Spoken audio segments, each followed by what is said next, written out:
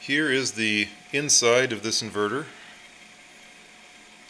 The first thing I thought when I opened this thing up was, what did I just waste my money on?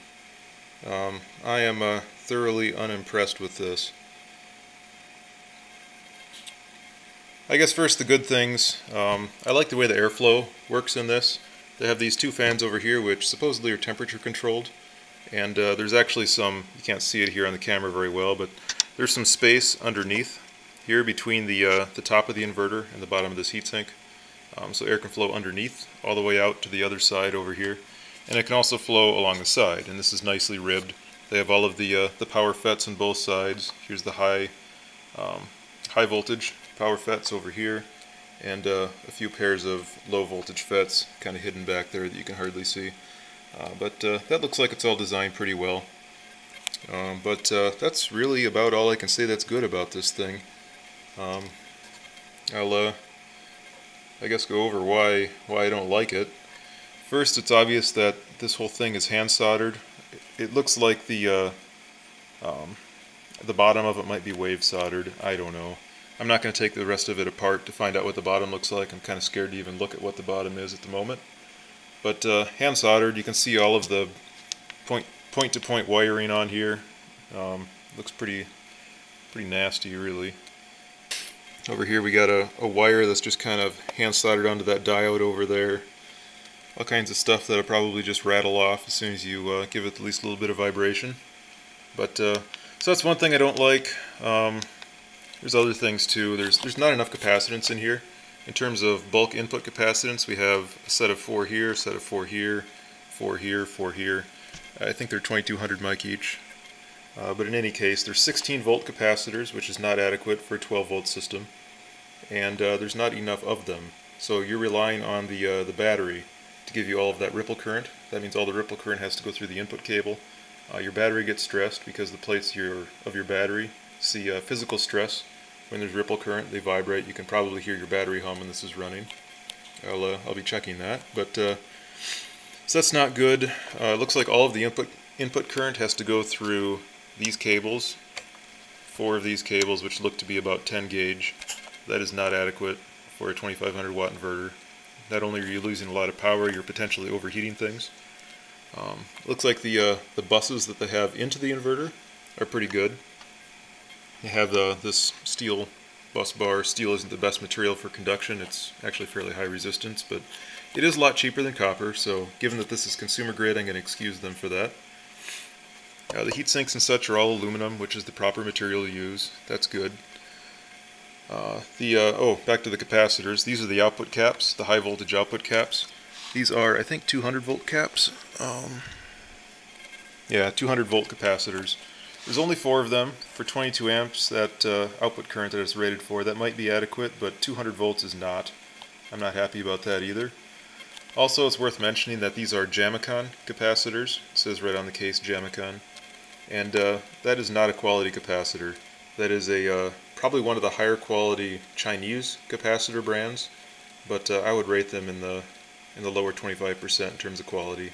You might get five years out of these before they degrade and fail. I would much prefer to see a, quality American or Japanese capacitor in here, but again, I'm not terribly surprised. It is an inexpensive consumer grade inverter. Another thing I don't like are the uh, electrolytic capacitors over here.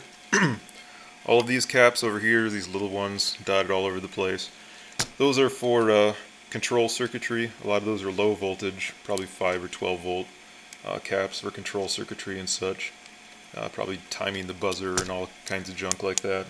But uh, those really should be something other than electrolytic. Those will fail eventually, and you'll never know which one it is, you won't be able to fix it.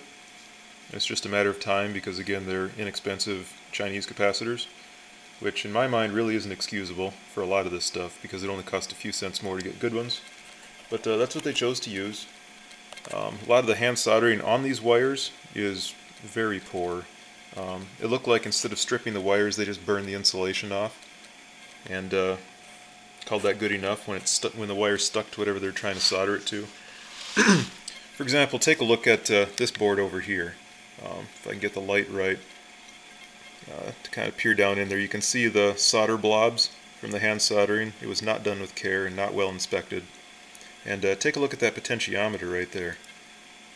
Usually when you do have a potentiometer that you adjust from the factory, you uh, have to do something to secure it in place so that it doesn't turn again um, in shipment or in, in other uh, harsh environments with a lot of vibration. In this case they just took a soldering iron and melted the corner of it to keep it from turning. The proper way to do that is to put some caulk or adhesive on it. They obviously thought that was too expensive so they just melted it with a soldering iron and uh, obviously damaged it in the process because it looks like it's already rusting a little bit. It is fused, which is good. It probably has to be uh, in order to not be a fire hazard, but there are uh, four 40 amp fuses over here and four 40 amp fuses over here. That's 320 amps. 320 amps, once you consider the efficiency of this inverter, is going to be about enough for 2500 watts, which means that their uh, surge rating is already, I can tell you, not true.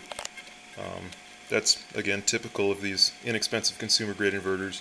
If you get the better, better name brands that actually do have a surge capability for a few seconds, this one will not, because these fuses are going to blow. Uh, looks like these are automotive blade style fuses. Um, I think they're replaceable. They don't look, yep, they have fuse holders on them, so I'll give them kudos for that. You can replace these fuses, so that's good. But uh, it will limit the output capability to uh, 2500 watts and that's all you're going to get. So the surge capability is 2500 watts about on this. I can already tell you that. But uh, one last thing is it's extremely dirty. I don't know if you can see it on camera very well but uh, this thing is pretty filthy um, and it looks like it's not environmental dust it looks like it's residual flux for manufacturing and other crud like that uh, which uh, probably isn't going to affect the function very much, but uh, it does mean that the board is going to corrode quite quickly because it's contaminated already. So I, I think what I might actually do on this is take some uh, electronics cleaner and hose this whole thing down at some point to clean all that crud off.